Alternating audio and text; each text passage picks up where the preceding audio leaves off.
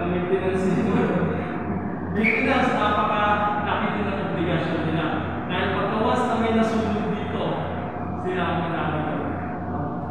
Kapagayaan. No?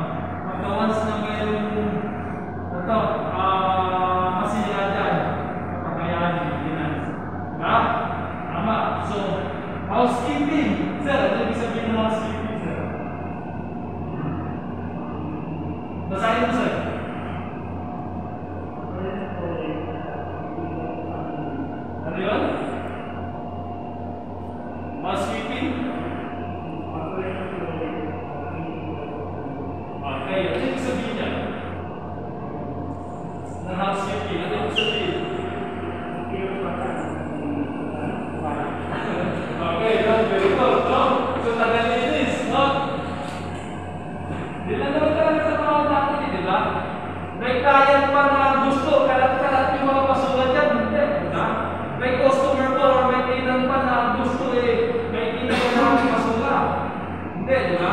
that's why nandiyan kayo.